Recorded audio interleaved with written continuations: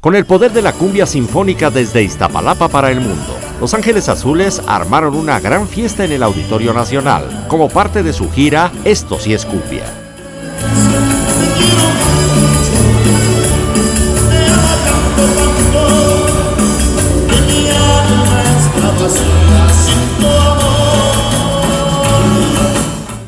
Más de 20 temas en su repertorio y tres invitados especiales, los Claxons, Jimena Sariñana y Jay de la Cueva, la afamada agrupación mexicana deleitó durante dos horas a casi 10.000 personas que acudieron a su llamado.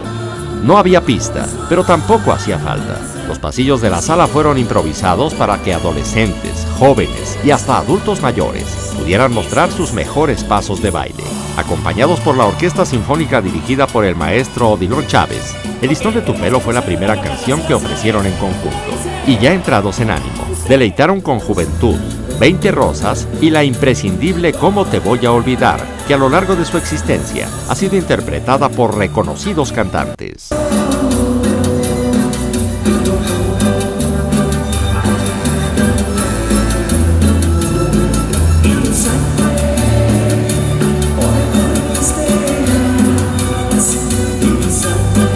Con información e imágenes de Claudia Pacheco, Notimex.